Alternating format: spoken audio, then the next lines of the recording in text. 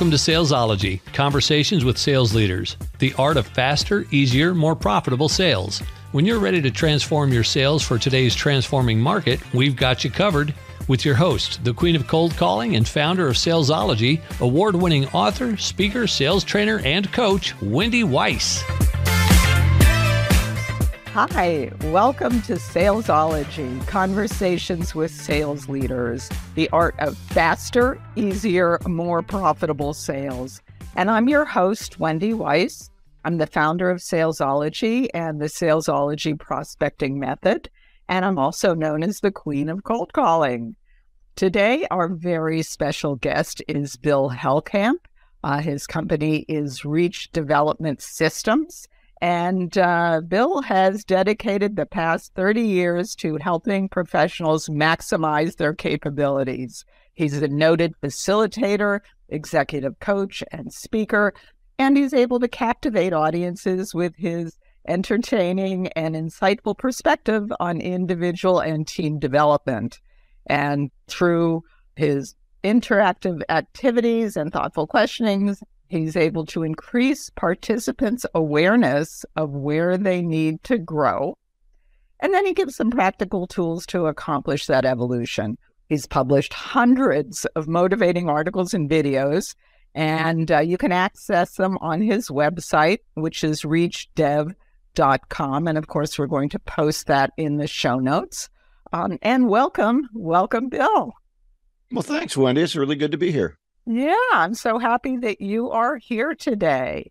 And yeah. my my first question for you, uh, let's begin where we often begin. Um, how did you become a noted facilitator, executive coach, and speaker. What is the backstory here? Usually it's by accident, isn't it? Uh, that uh, we tend to go for things in life. But uh, yeah, I in college I was in sales in a retail store where we actually were commissioned. So unless unlike most retail stores today, even even the electronic stores, which used to all be commissioned, I was commissioned and I became a manager ended up moving up to Minneapolis uh, to get a new store up here and then didn't enjoy it anymore. So I went into uh, advertising sales as an account manager. I enjoyed that, but I hadn't done business to business sales, obviously in retail. I hadn't done a lot of business. That was a big change, I think, to move from the retail environment where people come to you to an environment where people go out. But during my time with that retail store, I took a course called the Dale Carnegie course and it really revolutionized some things in my life based on where I came from. And I, when I finished at advertising, I thought, what do I want to do now? And I went to the local Dale Carnegie office and I said, Will you hire me? And they said, Well, we don't hire instructors. I want to be an instructor. And they said, We don't hire instructors, we hire salespeople, and some of them instruct. So I started selling for Dale Carnegie and I cut my teeth learning how to teach their methods and I really enjoyed that part. But like any big corporation, it wasn't able to. We weren't able to um, to customize things for customers. We had kind of the six courses, and if your if your problems fit into one of those six courses, then we could sell you something. So I said I want to be able to customize and consult and do a lot more for customers. So after about six years of learning from them, a very good company, I went out on my own, and that was almost 30 years ago. So uh, I started to uh, to customize things and develop programs, and I I think of my company as a boutique um, where customers can come in and tell me what they need, and I can develop programs that are going to best fit their needs. Hey, I love that. So you're not doing cookie cutter; you're developing programs for folks as they need them.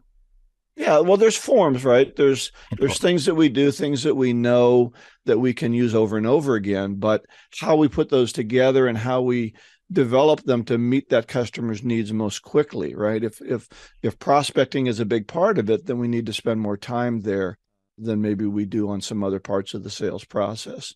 And and some of the things that they need help with might be might be improving their process and some things they might need help with could be attitude or even how they they look at sales from a from an institutional standpoint. I know I'm working with one client now and we're dealing with the the financial people and the financial people don't think selling is worth much, but the salespeople think sales is worth a lot and so there's conflict. So you have to help them deal with that. Absolutely. So I'm curious about something um, as I was introducing you. Uh, your your bio says that you're able to increase participants' awareness of where they need to grow. Mm-hmm. And I always find that to be uh, very interesting because sometimes the things that people think they need is not exactly what they need. Mm. So, could you talk a little bit about that and how you do um, increase someone's awareness of where well, they need to grow? Yeah, I think one of the first things a good instructor does is they help people assess themselves and they don't go into an instructional process and which i have in the past i'll tell you a story about that but we go into an instructional process thinking we know everything because we talk to maybe the owner or the sales manager and and then we start running right into what our what our presentation is and and if we're aware we see people kind of shaking their heads or looking at us like we're crazy and we know we didn't do enough assessment either before the training or at the beginning of the training for the people to get the buy-in. Because just because someone's at our training program doesn't mean they bought into the idea that they need to even be trained.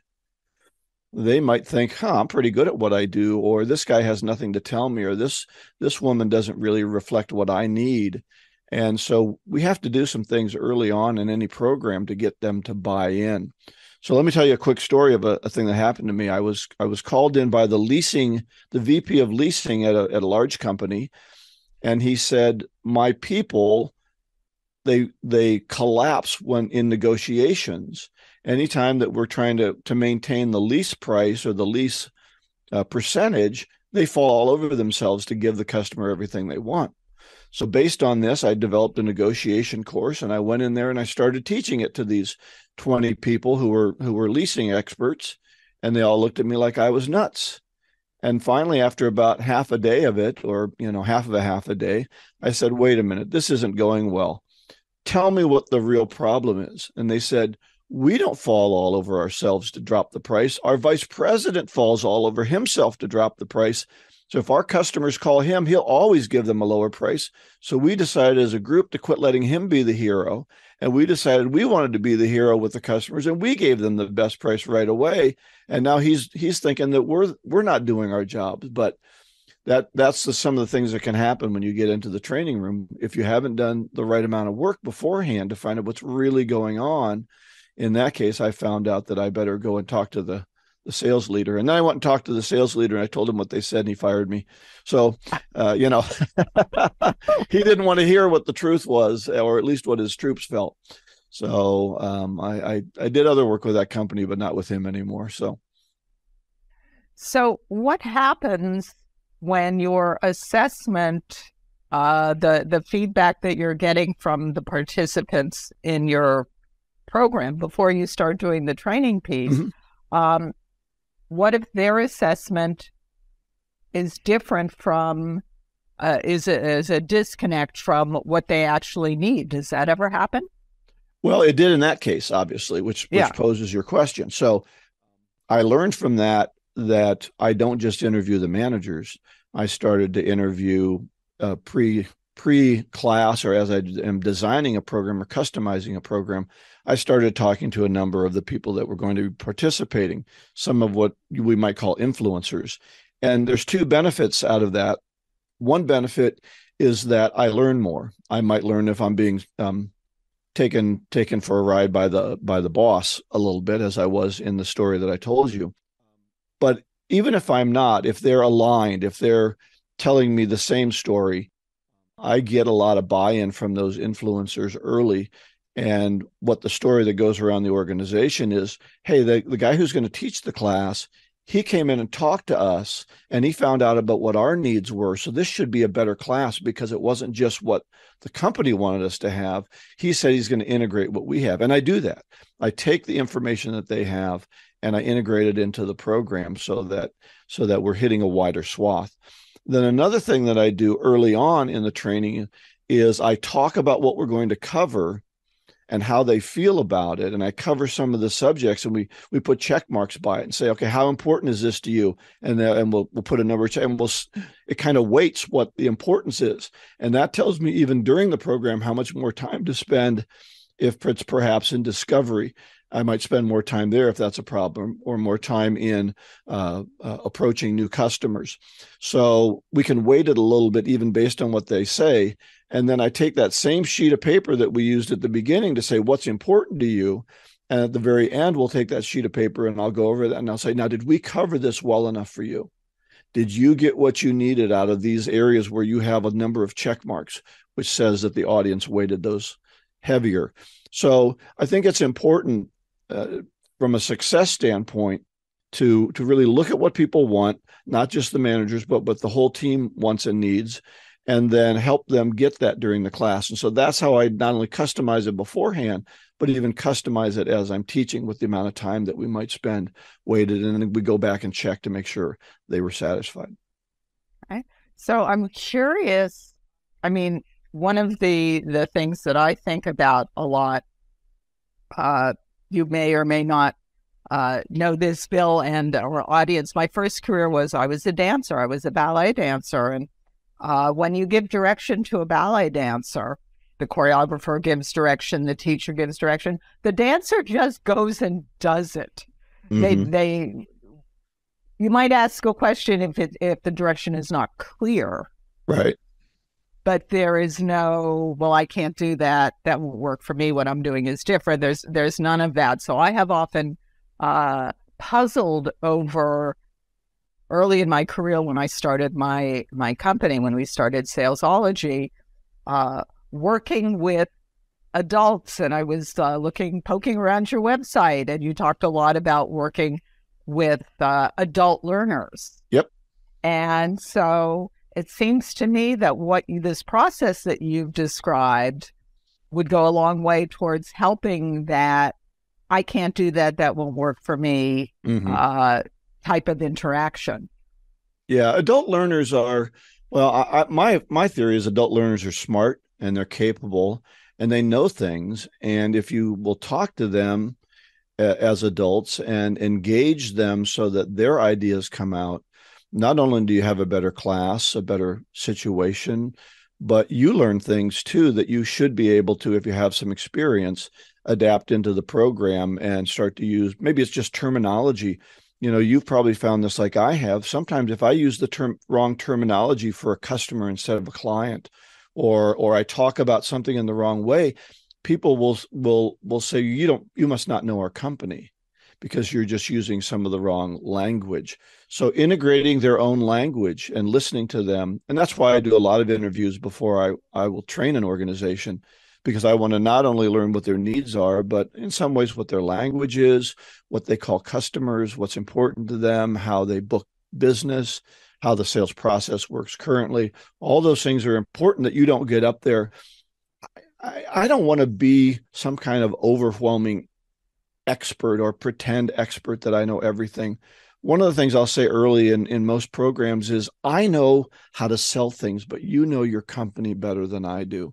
So my job here in front of you for the next day or two days or three days, whatever the timing is, is to integrate both of our levels of knowledge. So I can take the things in, in, the way that I know that selling works better and integrate them with the needs and issues that you have. So even during the training, I'm still talking to them actively about integrating because as you know getting that buy-in from them that says this is valuable to me. This is worth it.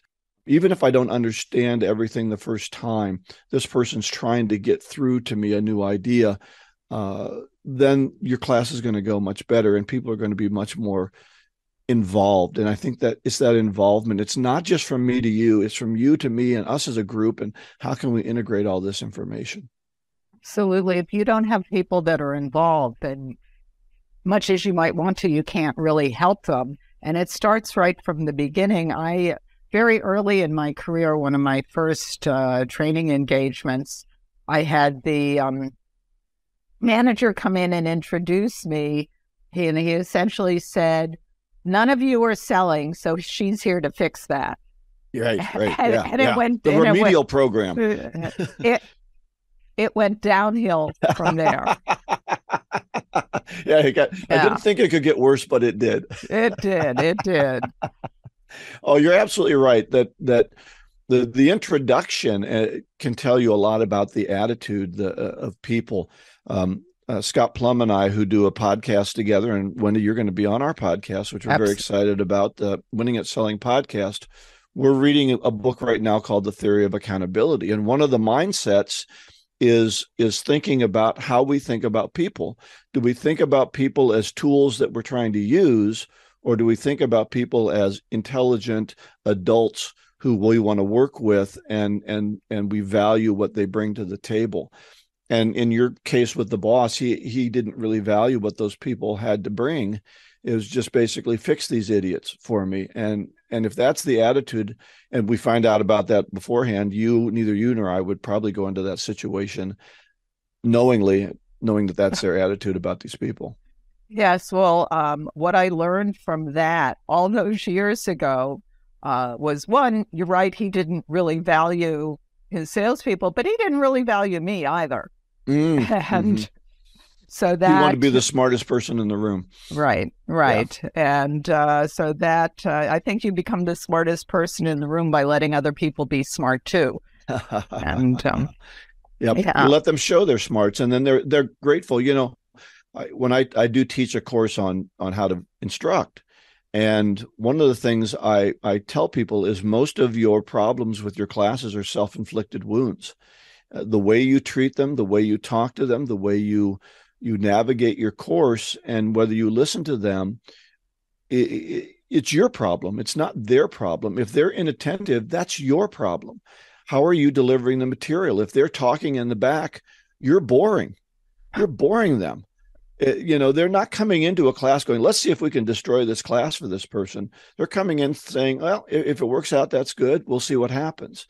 And if you bore them they're going to start talking in the back corner or playing solitaire on their laptops so watch how you watch your reaction and assume you're the problem and so that you can fix that connection that you're making with them. My my children have all obviously gone through school and quite often they would say everyone failed the test so the professor's mad at us. And, and i'm thinking if everyone fails the test the professor ought to be mad at the professor because they didn't teach it right. If one person fails the test that might be that individual's fault. If everyone's failing it sounds like it's an instructional problem but people don't look at it that way.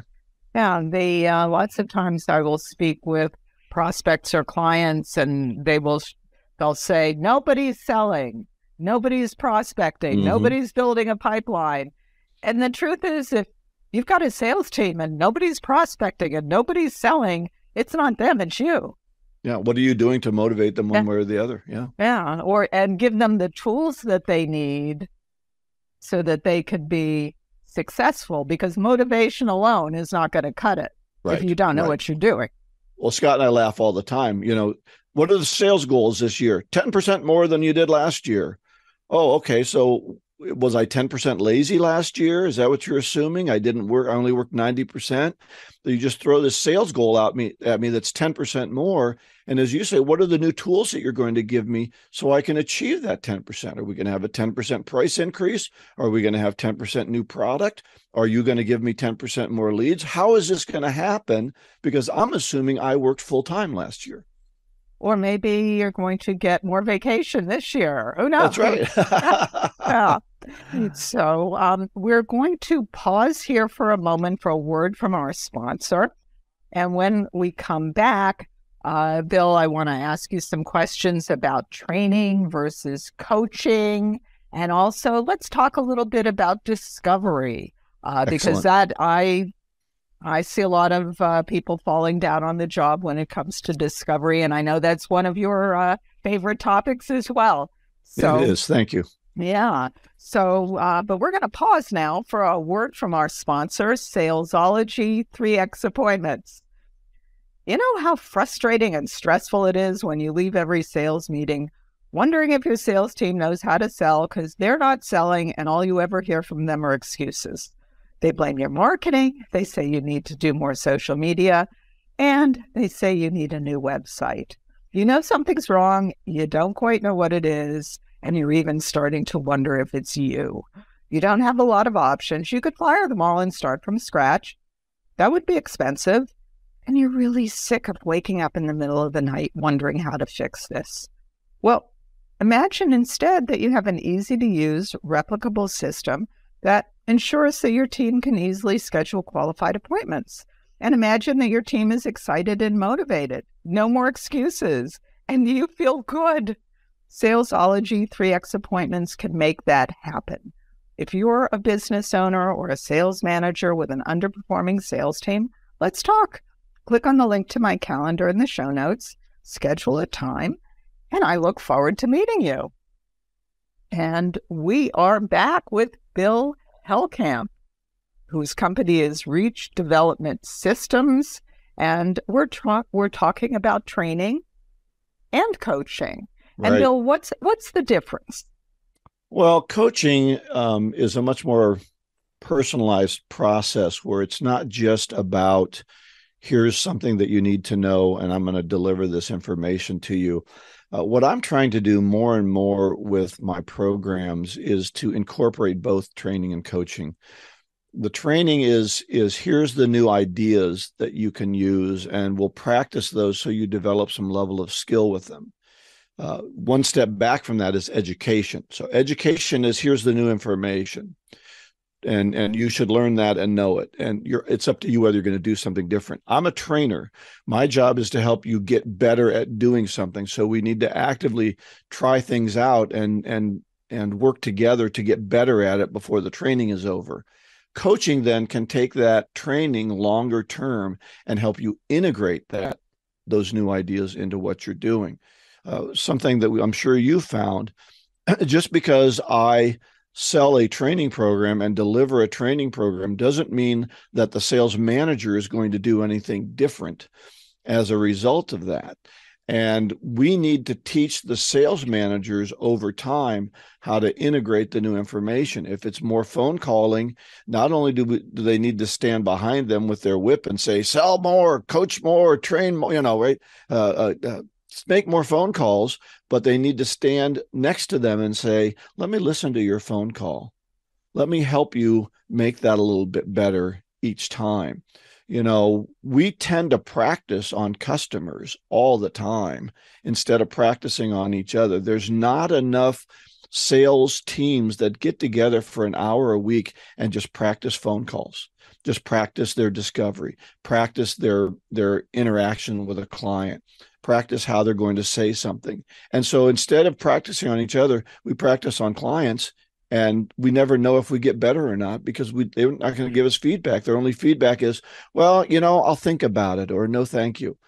So the coaching allows us to interact with the leadership over a long period of time helping them to integrate the new material and work together with their their uh, their team they're often as confused by the new material as their team is. Just because they thought it was a good idea doesn't mean they know how to integrate it or how to use it themselves. So we need some time together after the training to be able to work together to figure out how is this how is this material really going to work within my company on a day-to-day basis. And that's what we try to do with the coaching. Yeah, we do all of our programs. They're six months or they're a year because, um, again, early when I started my company, all those years ago, I thought if I just told people what to do, mm-hmm. they'd be able to do it. Right, right. And I was really surprised to find out that wasn't true. Yeah. and um, so, you know, we work with people over time because it, you know, realistically, it takes time to develop new skills and put them into practice and get comfortable and be become effective. At, yeah, you'll find at, on my site if you poke around a little bit a thing called the cycle of self development, and and i learned that a number of years ago is the first thing we need to do is have a good attitude about i can make a change. You know some people go into training thinking this is the way i am. You can't change me. Can't teach an old dog new tricks. So you have to overcome those attitudes and help them feel that they can learn and that there is value to learning. Then you can give them some information or knowledge and then they have to take that knowledge out and do something with it and try it. And then if it works oh my gosh then people become excited about getting new information and trying it but so often they've gotten information that isn't good they never try it it doesn't work. I call it the really good binder shelf. We, we all have a, a very nice binder shelf in our office with all the old training programs we've been through and never looked at again. Uh, so i don't want my binder that says reach development systems on the edge of it to be just a nice binder that we've never looked at. I want it to be a, a training tool a, a working tool that says oh man I, I didn't like that phone call. Let me go back and look at what bill and I worked on together and see if we can come up with something better. Absolutely. Um, so let's switch gears here a little bit and talk about discovery because uh, you and I were chatting before the show, and mm-hmm. you, you you told me this is one of your favorite topics, and it's actually one of my favorite topics as well. So I want to make sure that we have a chance to talk about it.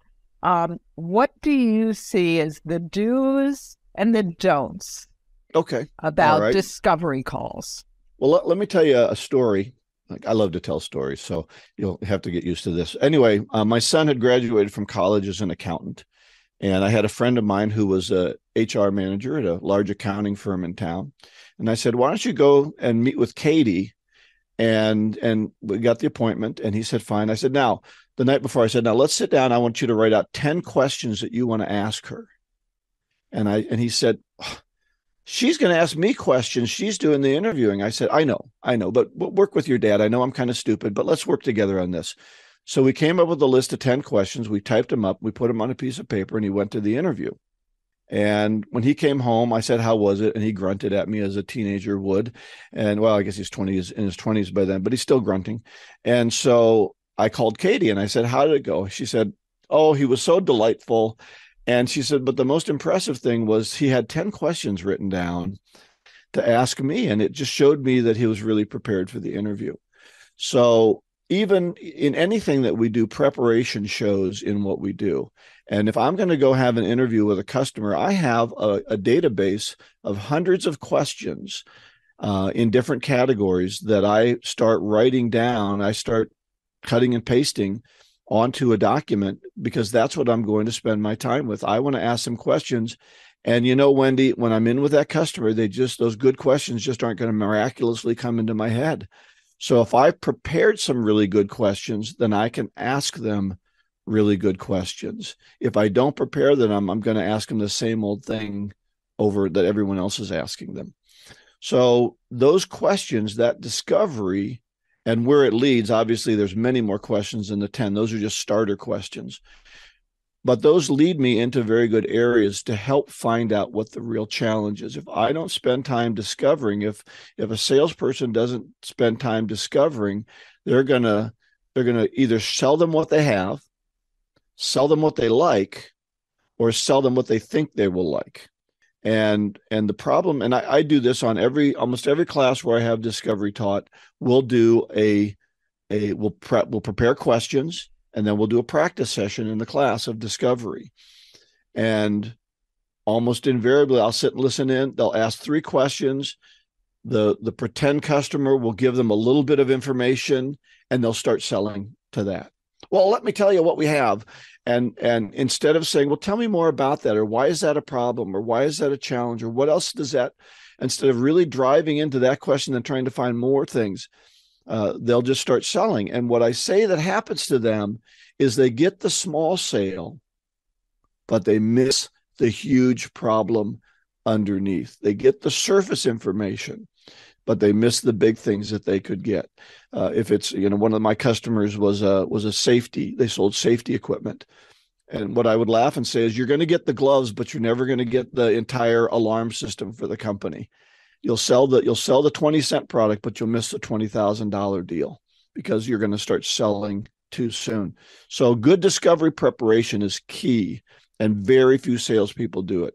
Very few salespeople know what questions they want to ask beyond the first two. And then they let the customer guide the sale and they guide it toward whatever their just most pressing need is at the moment, but not the big deal that could be lurking behind. Maybe the small sale is all there is. That could be true.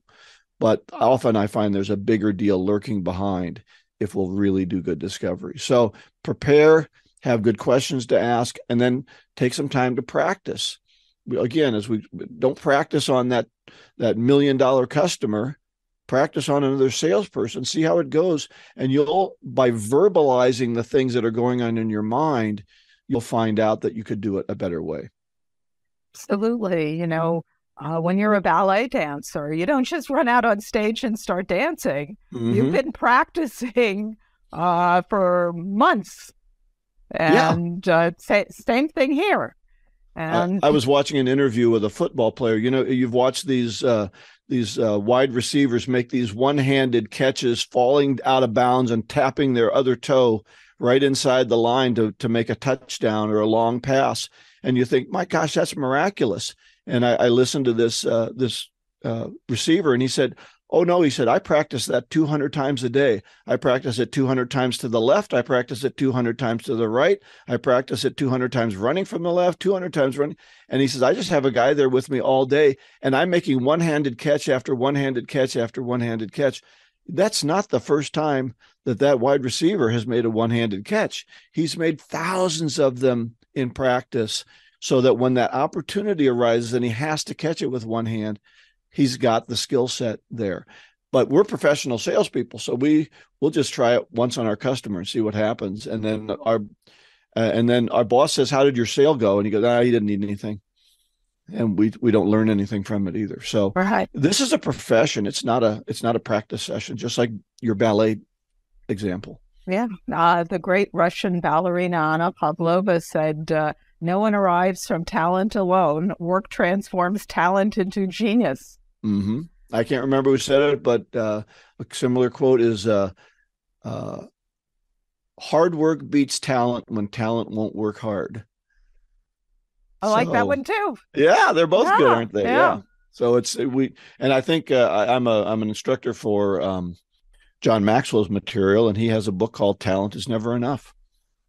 So never enough. Got, never enough. You've got to you've got to use that talent right. Yeah.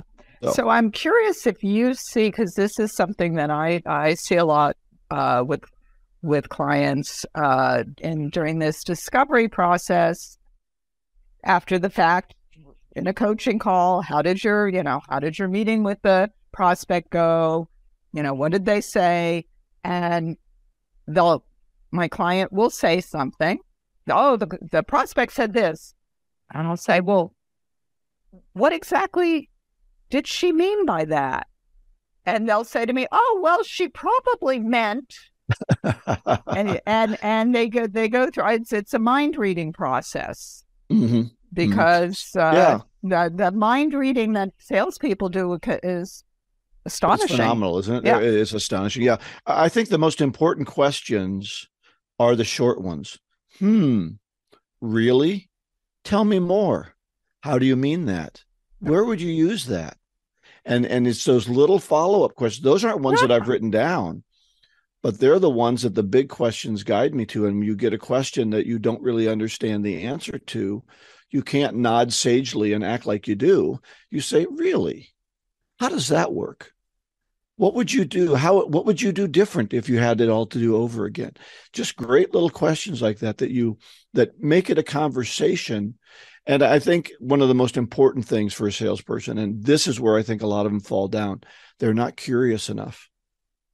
They don't ask, I wonder questions enough. I wonder about your company. I wonder about you. I wonder about your needs. I wonder about your issues. I really want to know them. I'm really curious one of the most wonderful things about consulting is how many different kinds of companies I get to work with. And I learn about dry food packaging and I learn about making industrial screens and I learn about healthcare laundry services. And they're things that I didn't know, but I'm just fascinated by how they work and, and how you make a business out of that. And and salespeople are just thinking, too many salespeople are just thinking, I wonder if I can sell them another widget yeah. instead of thinking what how can we integrate ourselves together and help each other yeah and i think also sometimes salespeople are afraid of uh, looking stupid if they ask a question uh, they they think they should know everything but of course you can't know everything so go ahead and ask the question and Pro- your prospect's are not going to think you're stupid. They're going to think you're a genius because you're asking great questions and, and oh. engaging them. Well, how many questions, how many, how many conversations have you gotten out of where you never said anything? You just asked questions and nodded, and they said, "Oh, that Wendy, she's a great conversationalist." Absolutely. Like, well, I'm a great questioner and listener. Yeah.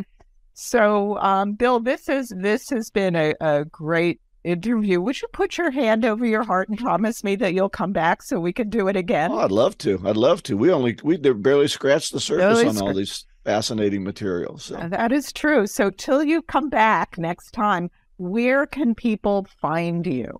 If people want well, more uh, information. Sure. Well, I love to connect on LinkedIn. So uh, you can go to my LinkedIn, and and uh, I don't think there's a lot of Hellkamps are out out there. So Wendy will have my name on her uh, on her show page, and you can just uh, go there. Uh, you can go to winningatselling.com, which is the podcast that I do with Professor Plum, and we've got over 200 shows of winningatselling.com. And then you can go to my website, reachdev.com. It's short for Reach Development Systems, so ReachDev. And I've got hundreds of articles and and uh, uh, videos that I do. I do a little video called the Two Minute Selling Tips, and those are fun. So I put a lot of information out there that people can learn more about me or about what they want to do, uh, what they want to learn in sales. Yes, and we're going to put all of those links, uh, the Bill's LinkedIn uh, profile, his website, the Winning at Selling podcast. It's all going to be in the show notes. So as soon as you finish listening to this podcast, go and click on the links, connect with Bill on LinkedIn, listen to Winning at Selling, and uh, definitely go to reachdev.com. Uh, watch some of the videos, read some of the articles. It's all great stuff. And well, Wendy, uh, this has just been a joy for me to be with you today. What a great conversation. Thank you. Thank you. And uh, thank you to all of our listeners today. You have been listening to the Salesology Conversations with Sales Leaders podcast. And I've been talking to Bill Hellkamp, who is, his company is Reach Development Systems.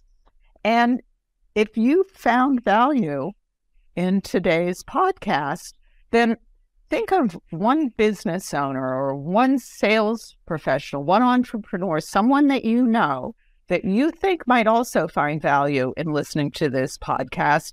And please do share the link with them. And till we meet again, visualize yourself surrounded by cash, really large bills. You've been listening to Salesology Conversations with Sales Leaders, the art of faster, easier, more profitable sales. Be sure to follow so that you don't miss a single episode. And while you're at it, please leave a rating and review and be sure to share it with your friends.